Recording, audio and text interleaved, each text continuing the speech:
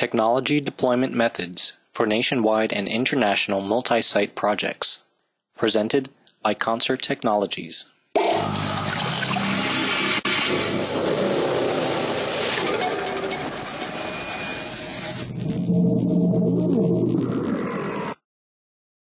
This video will examine the deployment method that exists within the rollout services model, the second part of the technology rollout system.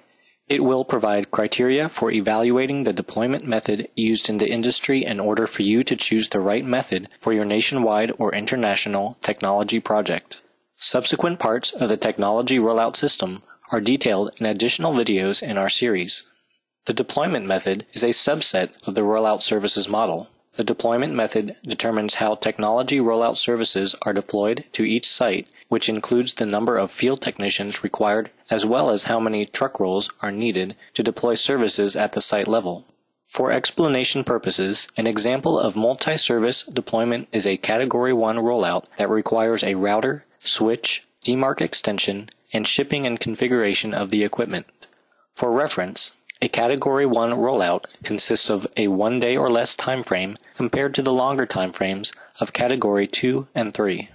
The following information is based on a technology rollout company's management and technical support of on-site field technicians, which includes the dissemination of requirements and relay of technical knowledge for multi-site, multi-service technology rollouts. There are four primary deployment methods used for nationwide and international technology rollouts. Each deployment method is evaluated in terms of the number of truck rolls or dispatches, speed of deployment, communication speed and accuracy, labor costs, and the availability of technicians for site revisits. In the first deployment method, local multi-service, the technology rollout company minimizes the number of local field technicians to deploy multiple services in as few truck rolls as possible. Each technician specializes in multiple services and is managed and supported by the technology rollout company. As the number of truck rolls or dispatches is one of the single biggest cost factors in a nationwide or international rollout, this deployment method allows for lower project costs due to the minimized number of technicians and consequent truck rolls required. The deployment speed is maximized and there is a high level of communication accuracy and speed due to fewer technicians needed and minimized scheduling requirements. For this same reason, labor costs are minimized. Additionally, the availability of technicians for any necessary site revisits is high because the local multi-service deployment method allows for redundancy versus a specialized technician who may not be available in the future. In the single service multi-resource deployment method, the technology rollout company uses multiple local field technicians. Each technician specializes in a single service. Compared to the local multi-service, this deployment method has low deployment and communication speed and accuracy because it has more technicians required for all services. This means more people to pay, as well as more to communicate with, and an increased risk of scheduling conflicts or no-shows. When using the non-local service deployment method, the technology rollout company uses a single group of technicians as its field force. These non-local technicians travel to each site from a central location. Each technician may or may not specialize in multiple services.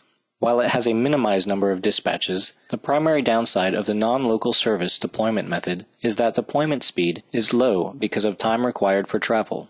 Additionally, labor is priced higher due to travel costs, and the availability to revisit site locations is low as the technicians are not located near each site location.